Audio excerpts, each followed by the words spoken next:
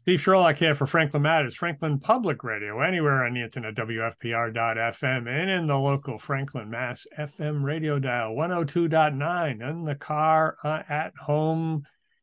Today, another Making Sense of Climate session with my guide, Ted McIntyre. Ted, how are you doing today? I'm just doing peachy keen, Steve. So good to be here.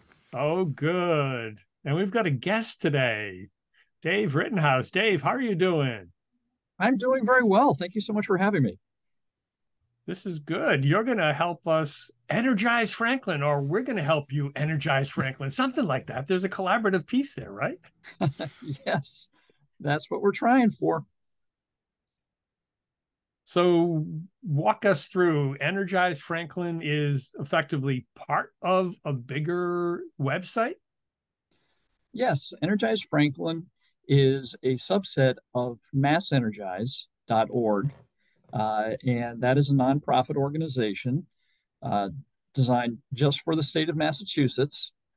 And uh, we proposed uh, back in April of 2022 to the town council that we have this site uh, added for the town of Franklin. And I found out that funding can be a little tough to uh, get quickly. So we went on a campaign to raise funds, and uh, we got trained. Uh, it was pretty arduous raising funds, but we got trained in November of last year, and the site went live um, March 28th via Franklin Matters newsletter. Cool. So this is just to be just I gotta jump in just to be clear. So Energize Franklin is a website that people can go to on the web. And we will, of course, we will mention the, the link, but you can go to this website and basically do stuff that we'll hear about, right, Dave? Yes. And in the not so distant future, you should be able to go to energizefranklin.org and get there. Uh, that link hasn't quite been set up yet, but should be set up in the next couple of weeks. And uh, the current path is community.massenergize.org slash Franklin MA, which is a, a, certainly a mouthful. But uh, if you just go to massenergize.org and you look for the communities page, you can find Franklin listed there, and that might be, uh, you know, that's a, a, an equally good way to get there. Yeah. And for the listeners in the show notes, we'll include the link so you don't have to scramble with pen and paper now. Um, for the regular listeners and or subscribers to Franklin Matters, you could also go to franklinmatters.org. A little bit easier, quicker, you know that one. And then scroll along down on the right column under other resources. And in the alphabetic order, and Energize Franklin should be in that list as well. Click on that link and you'll come to the page. Yes, all good ways to get there. Yes. So, so Dave, getting there is half the fun, right? Once you get there, what's up? What goes on? Right. Well, uh, we have, a, you know, we may have a, a, version of this on YouTube. That's the hope with a video, and we're showing it, us sharing a screen right now, which is the home page uh, for us. And the way it's set up is there's a little more stuff if you scroll down, but the main action is uh, under the three photographs where you have four buttons. One is take action, one is join us, one is testimonials, and one is events. So those are the things. But the basic idea here is, you know, Dave, can I jump in, Dave? Before sure. you before you go on, let me just uh, let me just describe the page, right, for our for people listening on the podcast. Uh, we're looking at a web page, but it is a beautiful web page. Across the top, across the top banner of the Energize Franklin web page is a picture of the uh, Ray Library, with, of course, the statue of Benjamin Franklin shrouded in snow on the left-hand side. Uh, on the right-hand side is uh, one of the schools, I think, not Parmenter, but it's, it's it a, is Parmenter. Yes. It is Parmenter, Parmenter with yep. solar panels on top of it. Okay, and smack in the middle is a picture of Franklin Common on a what looks to be a blustery winter day, right? So there's these three pictures across the top that let you know you're very much in Franklin, and this is a local a local thing, right? And below that are the the four sort of buttons that you just mentioned that people can jump to. Right, and the the whole idea of this is to uh, allow people to think about ways that they can help uh, with uh, the climate and, and taking personal responsibility for, you know, emitting less carbon and, and going into the decarbonization area. Um, and, uh, you know, there's the, the green communities, which there's 351 towns in Massachusetts. And I think they're all green communities in one way or another, but there's only 21 cities and towns right now that are part of Mass Energize. So this is a very kind of elite thing for uh, Franklin to be a part of. And and and this network is basically a nonprofit network. It's not a government funded thing at all. Right? This is this is people getting ready to taking action on their own, right? The ma- the mass energized sort of umbrella that this website sits under. Is that true? Yes, the whole thing is nonprofit. Uh, currently, uh, there is an uh, interest in getting the town of Franklin to help with the annual funding. It's just uh, $950 a year at this point, so pretty modest cost mm-hmm. for a town like Franklin. But uh, we'll see how that plays out. That was presented to the town council uh, earlier this month for their consideration. But um, yeah, thus far, all the money that's been raised has been through private donations, although 2 mm-hmm. of the town councilors have actually uh, donated to help bring the site to where it is today. And uh, Dave, one one other, I don't, I don't mean to grill you here, but these are all interesting questions. You said a word that always makes my ears prick up, and it is uh, it may be for people that are just coming to this issue uh, can be intimidating. So, can you tell me when you say to decarbonize? That sounds like I don't know what, right? It sounds like a medical procedure. Tell me what when you say decarbonize, what do you what do you mean by that? Well, there's there's many different ways uh, choosing, you know, the transportation that you take. Uh, there's a lot of incentives right now for people to get uh, vehicles that either use less gasoline or no gasoline. Um, and uh, then there's also things that you can do for your home uh, to use uh, electric fired devices to heat your home rather than burning oil and gas, which has been the traditional way of, of heating. I mean, it sounds like decarbonization means basically stopping the stopping the production of carbon dioxide from your house and the way you drive and the way you live. So to decarbonize is to get rid of the CO2 emissions that res- result from you burning burning stuff, right? Yes, the uh, the safe carbon dioxide level is uh, 350 parts per per billion and we're well over 400 right now. So we need to find ways to burn less stuff. That's kind of the the simple story on this matter. Right. So on that point, the 350. So that's where the 350.org comes from. It's the 350 oh, yeah. parts per billion. Per million. Per million. Per million. Okay. Thank you, Ted. I wasn't no, sure which one it was. no, and so Steve, there's a whole there's a whole subtext of that. So 350 is of course the famous the famous Bill McKibben organization. Yes. Right. And there it has spawned um, other organizations, like almost every state now has a 350 with the state initials. So there's a 350 mass, right? In fact, there are, we can put up links, there's a 350 mass organization node right here in Franklin. Franklin right? node, yep. Uh, the Franklin node of 350 MA. But the 350 comes from the fact that uh, science, in quotation marks, the scientists have, have sort of come to the conclusion that 350 parts per million is the level at which you do not melt the ice caps and you don't ruin the world. And in particular, uh, that kind of level is something that would tend to preserve um, coral reefs and islands and all kinds of good stuff, right? So 350 is minimization of the damage from climate change, right? And it's a political number in a sense that I mean, who's deciding how much damage is acceptable, right? That's a very, mm-hmm. very thorny issue, right. right? But the 350 number is where they think we could be stably.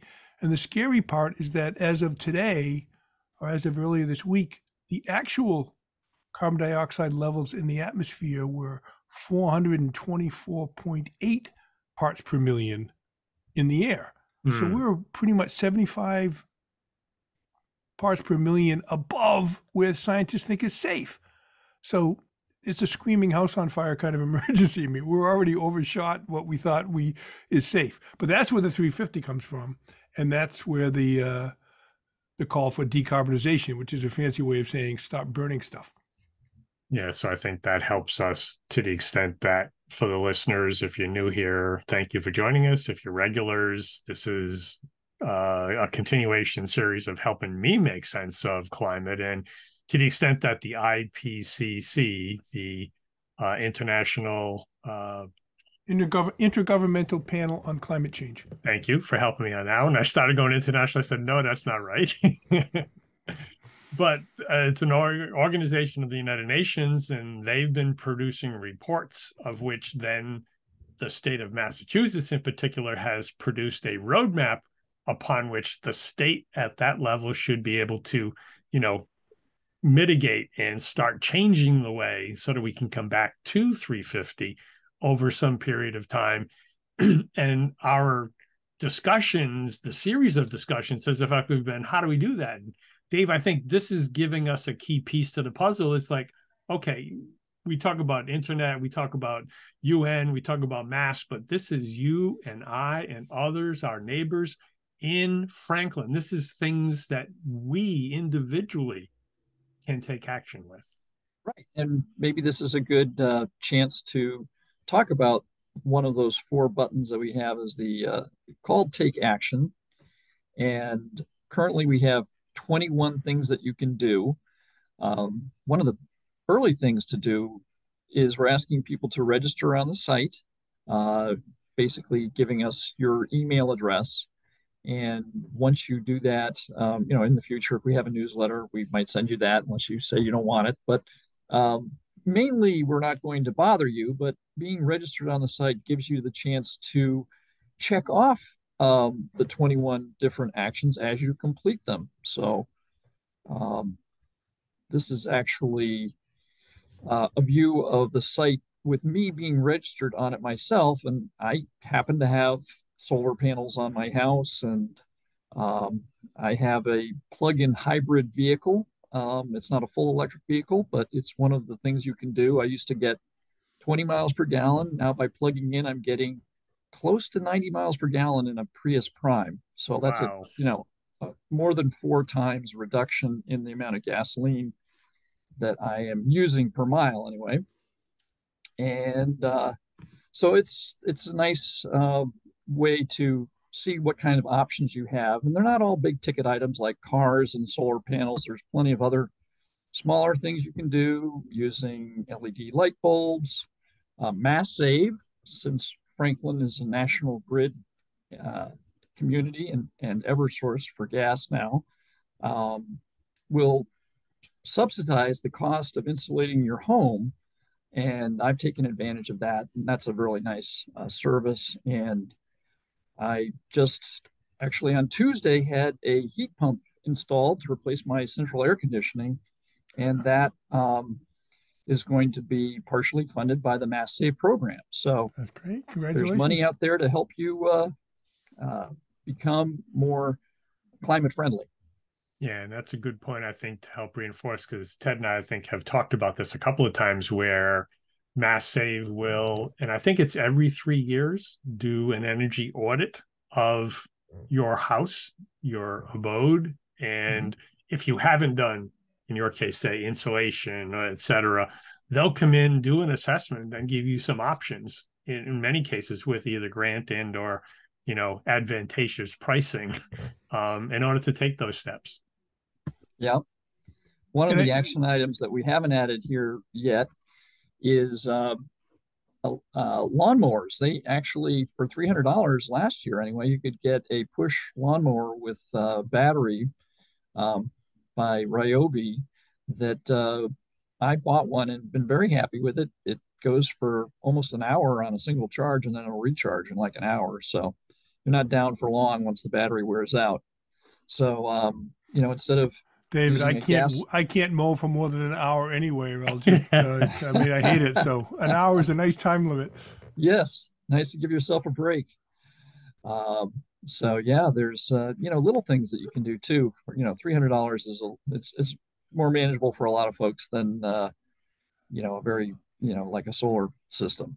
I was going to say, Dave. I mean, can you? You said there are there are small items. I'd be interested because yeah, I mean, the, the, on this list, all of a sudden we talk we're talking about you know money, right? But there there are things besides money. I think if you back up to the top of the list, there's something as simple as there's an Earth Day festival coming up Saturday. You could join. Um, um, you could join uh, 350 MA or at least register with them. You could eat a plant-based no, how do I say? There's one of the actions is to eat a eat a plant based diet, I think. But I mean, you could. That sounds like asking people to become vegan, but all, basically, you if you eat less meat, you're taking a climate action. So there's lots of stuff here on this list that is zero, no, no regrets, right? Zero investment, and you've actually started to do things. Absolutely. Yep. The uh, yes, the Earth Day uh, festivities right now uh, will be the the usual uh, trash cleanup uh, at Beaver Pond, and I suspect this podcast will be coming out after Earth Day, so probably not going to uh, change anybody's path with this announcement. But they do a real nice job. The DPW has, if no one's hasn't someone hasn't participated in it before, they give you a a T-shirt if you're one of the early people arriving there.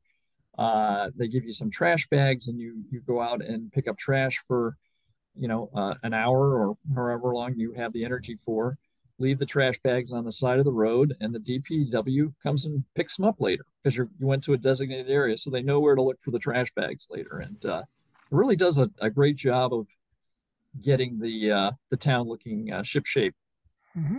Mm-hmm. Yeah, and it's uh, coordinated also with the recreation department and Ryan Jette. So we'll give them a plug because they annually have been running this event. Um, and clearly, while it's one day, realistically, it should almost be any day. Um, but then if you do pick up trash, and I've seen there's even a, I think a Facebook page, you know, one bag where people along different trails, whether the Snet or DelCarte or whatever, just along the street, pick up some of the bottles, the nips, whatever you see, pick it up, put it in a bag, and you've done your piece. And if you don't have that particular button on the page, then at some point in time, that might be a suggestion that, you know, help reinforce that kind of cleanup action on, you know, any day as opposed to just Earth Day.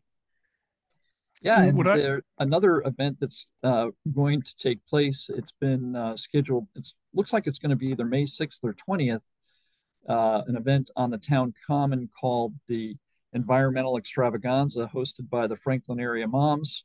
Um, will be, you know, a first time event, uh, but Energize Franklin plans on participating at that and uh, hopes to see uh, people from the town there so we can uh, tell them a little bit more about our site and uh, get to meet people and enjoy the beautiful day hopefully we'll have.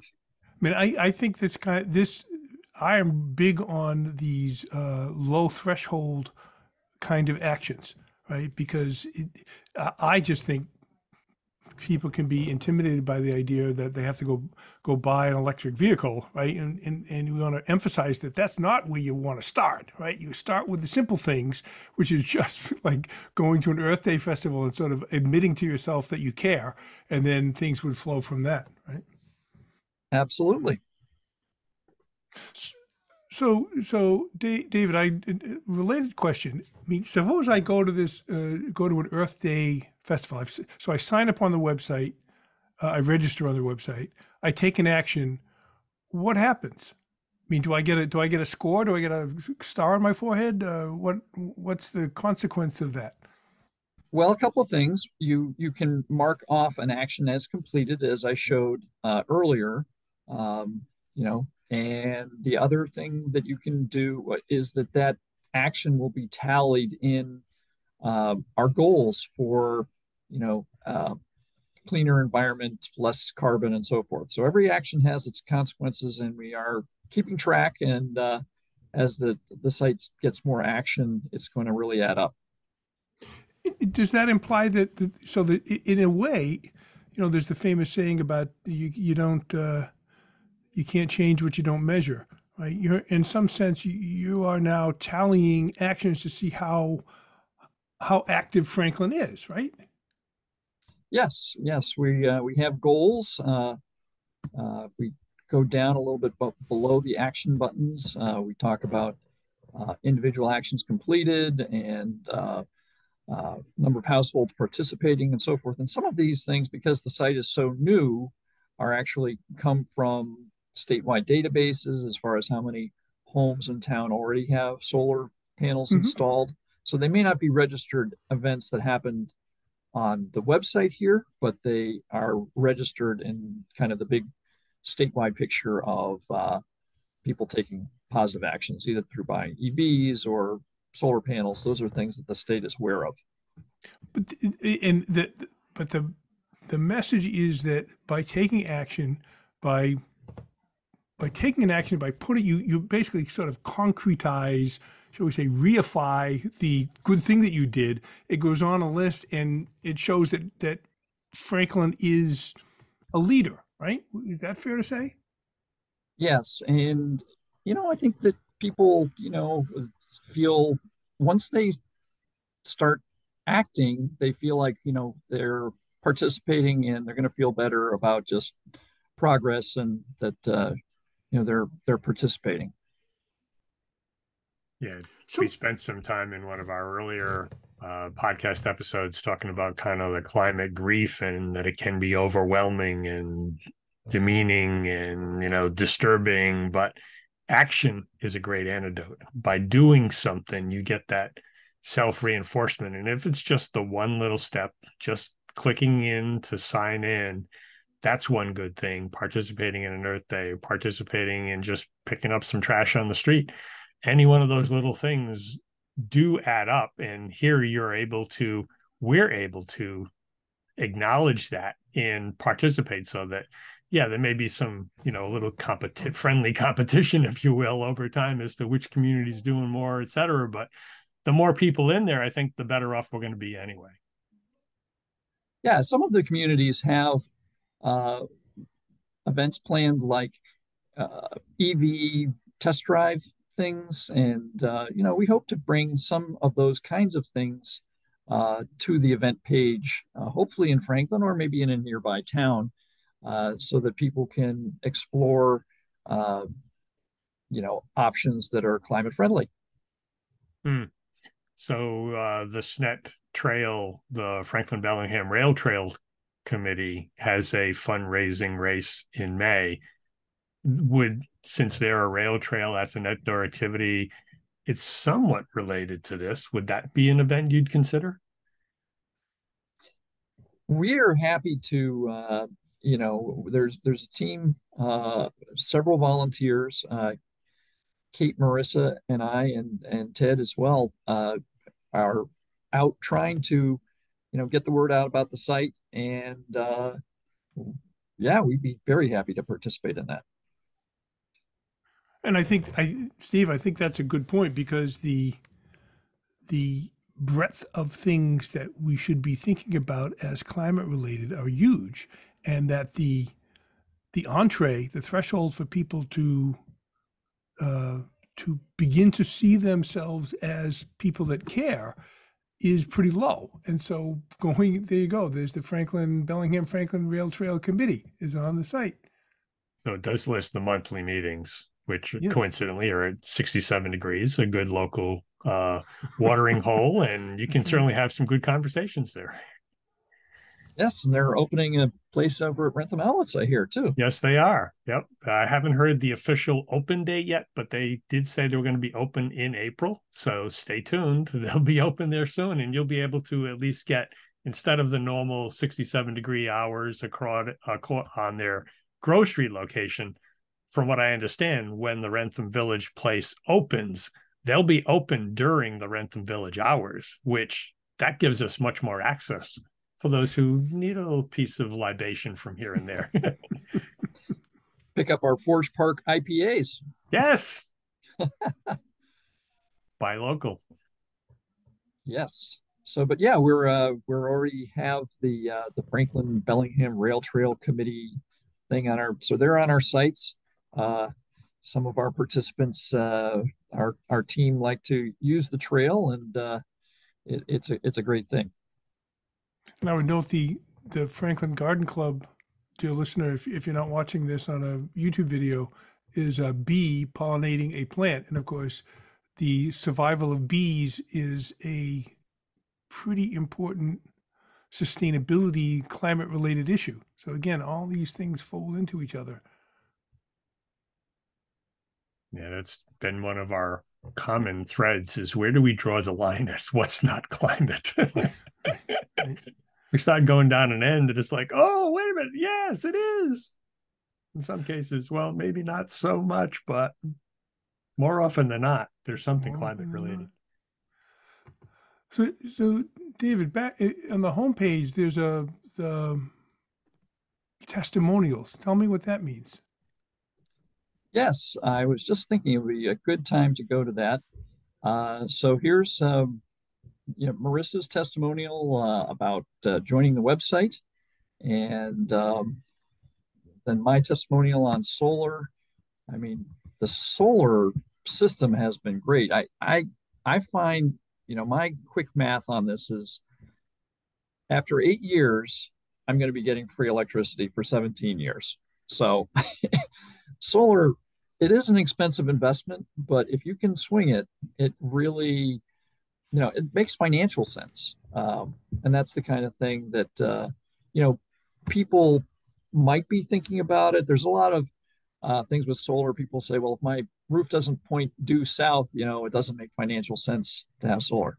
That's not true at all. It might have been true when the panels were less efficient. Nowadays, you know, my my panels face mostly east, you certainly don't want to put them on the side that faces north, but other than that, it's all good. Mm-hmm. um, and we have um, uh, Mark put in a testimonial about his uh, heat pump hot water heater. So that is a, uh, a way to heat your water with electricity, which you've always been able to do.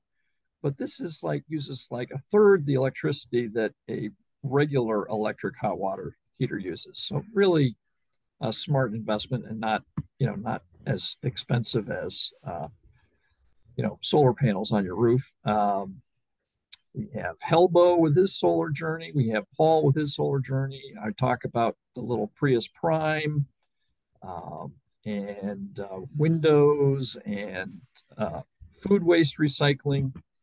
One of the things that I'm thinking more and more. I probably want to join. Is there's a uh, is it Black Earth composting, Ted, that does the the pickup? I am not sure. I think it's something close to that, and I know yeah. it's also been with as we're getting into kind of May and the budget hearings on the town side. I know there had been a proposal that between DPW for their trash and solid waste plan, um, they were considering ex- at least a pilot of that I know the company does at least visit Franklin, but the town was uh, looking at, um, and I don't know what the current status is. So people can check through the normal channels through solid waste, the Beaver Street Recycling Center, et cetera, um, and at least advocate for it because I think that's a, a key step, especially with the new regulations that Mass has introduced. So food waste should not part be part of trash. Um, it gives us an opportunity to do some composting. Right. Yeah, I think that the statistics are that by weight in your trash, uh, compostable material is at least 25%, if not a third, of the volume by weight in most homes. So that, you know, essentially is turned into really great dirt that's organic and can be used to grow vegetables and just a real great way. Otherwise, if it ends up in a landfill, it's just going to generate methane, which is going to hurt the uh, atmosphere uh, is way worse than carbon dioxide does. So, and you're uh, paying 25% of your trash removal fees to get rid of it. I mean, it's just, yeah. So, I mean, it's like sort of an all around win to do composting. Yeah. You can, you know, it's not just like uh, banana peels, it's things like chicken bones and any kind of bones and anything really organic they can mm-hmm. take. Mm-hmm. So, eggshells, um, coffee grinds, and all that's good stuff. Yep. Yep. So uh, yeah, that that's our testimonials. We only have ten testimonials at this time, but uh, we're expanding rapidly on those. So, so, so um, David, I, I have a couple couple questions. One is, if someone were to join the Energize, Energize Franklin website, they would be able to post a testimonial about what they did and why they did it. Is that true? That is correct. They are um, checked over by uh, someone on you know on our team just mm-hmm. to make sure that it's uh, uh, all PG and stuff, and and uh, we're not getting. Uh, right. yeah, but I mean, you, so I mean, if someone in good faith, if someone writes something in good faith, yes. uh, it, it, would go up. And, and I, yeah, and usually it goes up, you know, the same day that they submit it. So, and and the I guess the other point I would make is that if people are it, the reason these testimonials are so great is that if someone is wondering about taking an action, any one of these actions, they can go read someone else's experience, right? And again, you have this sense of connection and a little foretaste of what you're trying to do. So it simplifies the um, um, the path that people are on when they start thinking about doing stuff. Is that? Would you agree with that? Absolutely. And what what I wanted to do too is show you that under each of these areas, you know, solar is a big one, but let's let's start there because uh, you know it can have such a positive impact on the climate. Each of the actions has a uh, four tabs to it: uh, a general description, and then steps to take. Uh, if there's testimonials for that, that is also listed, and then a deep dive. So there's a wealth of information there. Mm-hmm. And there's uh, there's various links. When I was doing my solar journey, this uh, site called EnergySage, which is pretty much based in the Northeast, if not New England itself, uh, is a tremendous resource for evaluating solar bids and getting information on the different uh, companies who make solar panels and the inverters that convert the DC power from the roof to the AC power that you use in your home. Um, really great stuff. So there's a lot of, you know, knowledge base that we're trying to accumulate here, and that's already here actually. Right. Yeah, in that sense, you could the site is educational in that you can go learn about how to do these things that seem overwhelming, right? If for someone who hasn't thought about it, to say I want to put PV on my roof is a you know without some further guidance, uh, that's not going to happen. And here you can go and learn about what it takes and actually see people that have done it, right? Absolutely. And if we go back to the one about uh, uh, cars, uh, they're, you know, people don't have to take the full thing and buy an electric car right away. I mean, even if you just buy a hybrid car, you're probably going to get 50% better uh, mileage. And you never have to charge a, a, hybrid car. You just get way better mileage because there's a battery there. And uh, so if you go to a stoplight, the uh, the engine turns off. All that stuff leads to better mileage, and uh, you know it'll. I think that people.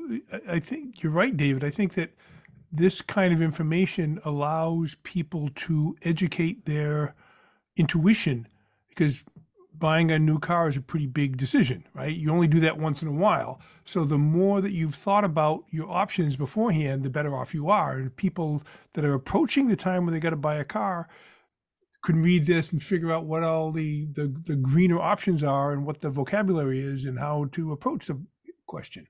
Right and uh, you know there's some some new terminology i'm i'm an engineering person by education and background so this comes more naturally to me perhaps but the you know PHEV if you've never heard of that that just stands for plug-in hybrid electric vehicle this stuff is all explained ice uh, what's ice well we all know frozen water but also is an acronym for internal combustion engine so that's essentially what uh, cars have been working on um, until the the electric electrification that we see going on right now. That's great stuff. That's great stuff. Very useful. Yeah, and like the EnergySage with the uh, uh, solar panel install, there's a couple of great websites here. One's called Drive Green, and it kind of lays out some of the financial incentives that you can get for different buying cars and, and programs and so forth. Another one's called Plugstar. And um, there are buying options and there are, are leasing options. Uh, I have a brother who leased an all electric car and he just totally fell in love with it. And uh, it was, he, he leased it, you know, before the really car, the crunch came on new car values skyrocketed. Mm. So when he leased it, he locked in a great buyout price.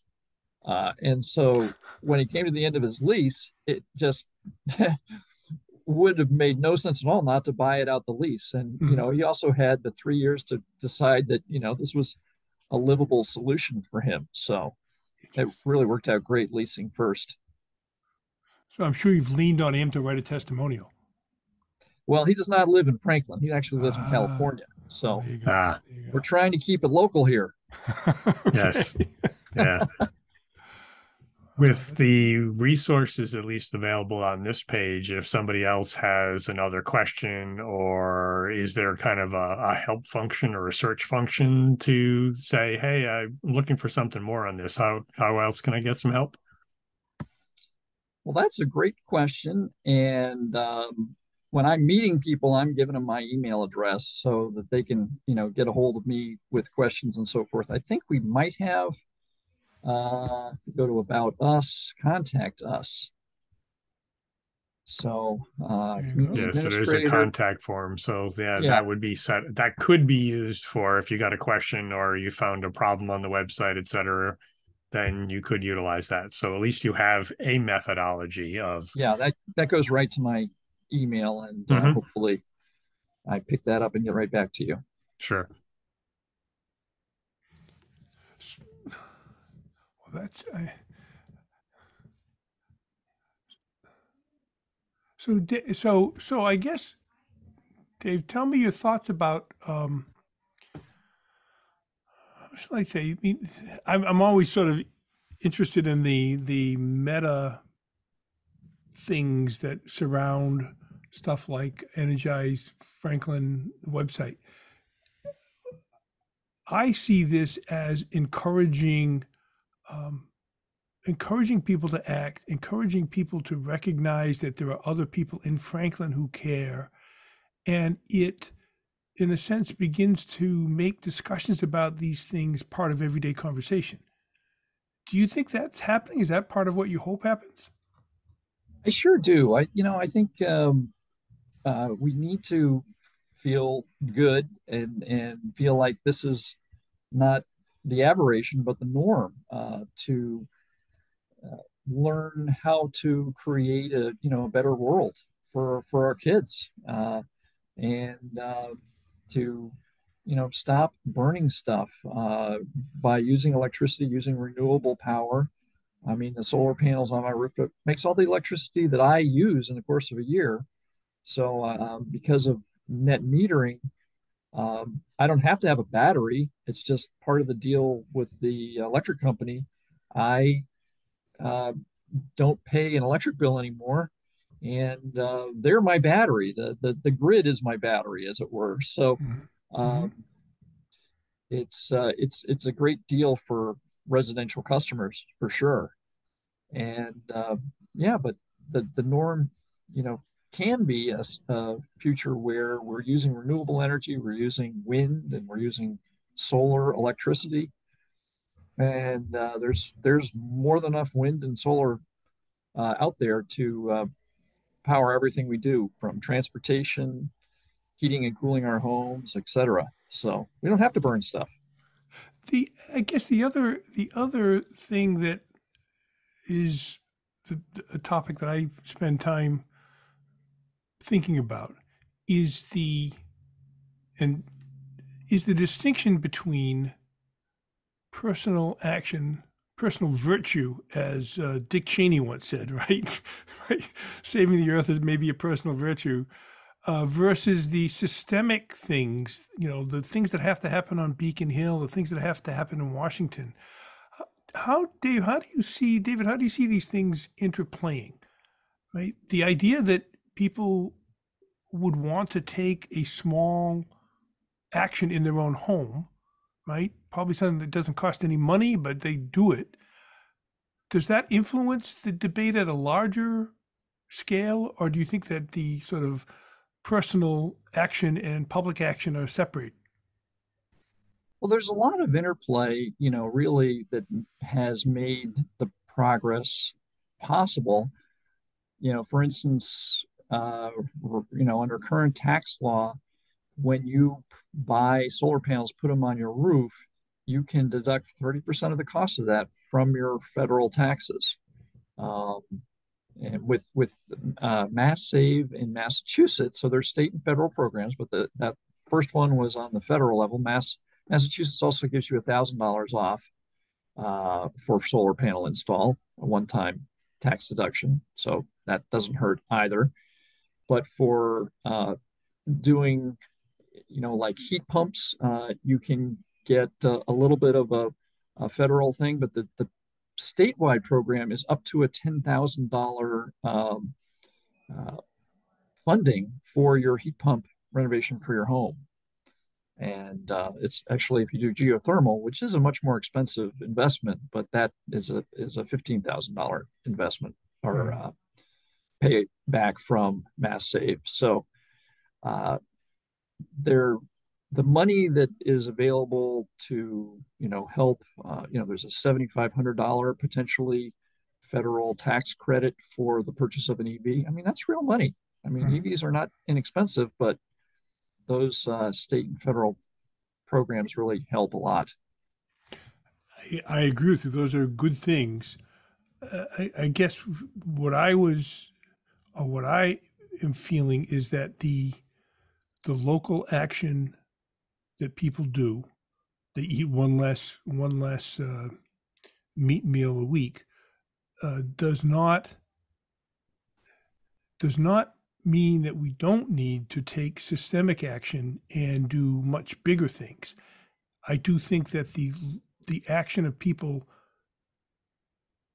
eating one less meat meal a week is a very positive thing because it's synergistic with the idea that we begin to recognize that at a collective level, we all need to do more things. We all need to be more involved. So for my money, the this website is a great thing in the sense of allowing people a path to become aware of what the issues are, what they can do, uh, but also at another level, a sort of a, I don't know what the right, I mean, it, it, enables the the political or the the the atmosphere to develop among voters that this is an important thing that we all need to think about collectively.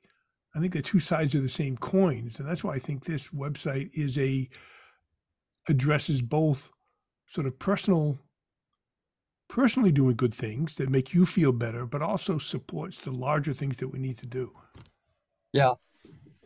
Uh, on a little bit of a different note, the one of the testimonials that the other 21 uh, cities and towns. I don't think I found one other town that had one on new and replacement windows. And a couple of people who had been uh, helped fund the creation of the site said that's what I really want to do to, um, you know, the first thing on my checklist. And I think for a lot of people, you know, they may have been in their home for a long time and um, they, they want to do that. And uh, um, those can be expensive to replace but there was a homeowner uh, under that section of the new and replacement windows who not only did he fix his windows, but he more or less did a whole home energy makeover of a 50 year old house for uh, under $30,000. Wow. So um, he did the windows and it was very creative with windows. He actually did storm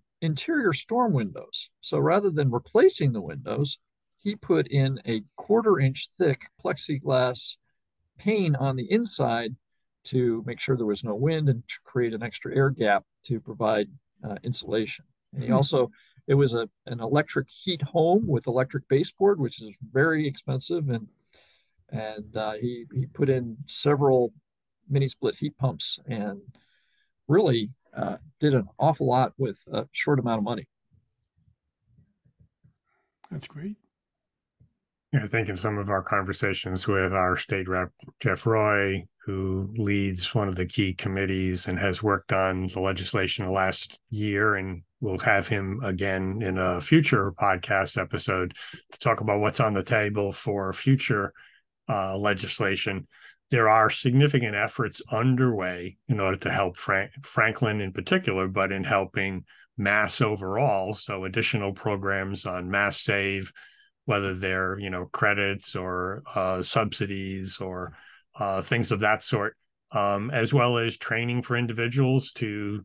Uh, one of the key pieces is as we make this entire changeover from fossil fuel to more of an electric based, whether solar, wind, uh, geothermal power, we need a lot more technicians, electricians, and otherwise um, to do that. So there'll be some additional uh, job training, job transition uh, efforts underway um, and all of that, that that i think is one of the key places that the government funding can incent our behavior accordingly. And i think that's that's part of the good thing. And then having this place to oh i can come here and then find out what i need to do and how to do this step or that step that i think will be a good thing. One of the things that uh, you know if you if you're a homeowner and you have a central uh, compressor that's running central air conditioning goes out, um, chances are it's going to make more sense financially to replace that uh, air conditioner with a heat pump uh, when it goes because of the rebates on the heat pumps.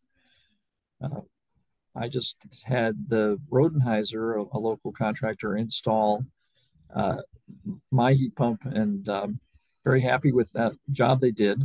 And uh, they were very accommodating when I said, you know, I really need a, a, a bigger circuit breaker box in my garage because I, I need to have the capacity to change out my gas range to an inductive cooktop uh, and charge an electric car uh, from the sub panel. So they took care of that and they ran a huge 100 amp wire from the far end of the house to the other end of the house. Uh, you know, there was an adder for that, but uh, it was all, you try to work all these things together in tandem when you have the opportunity. You're going to be running cable anyway. Why not uh, future proof your house a little bit? Well, I, I think that's one, one of the things that I'm intrigued by this kind of work is because this is sort of the connection between the micro and the macro in that things like that, where you say, I want to put the PV on my roof, but oh, then you realize that the electrical system in the house isn't quite adequate. Well, that presents a problem to be solved that can be solved as you just did, David, but also suggests that at the policy level, at the state level, there needs to be easier ways to address that and more help to do that kind of thing. Right? Because uh, we just we're on a learning curve here of trying to get. I think it's a we need to upgrade 500,000 houses by the end of the decade right? so that's a tall order. And finding out ways to do that, uh, I guess the Energize Franklin website puts us on that learning curve to figure out how best to do those things. That's right. There's uh, there's a lot of good uh, tools there, and uh, you know it's all stuff that you you can't get it all done at once. But you uh, how do you eat an elephant one bite at a time? Mm-hmm. Mm-hmm. Good.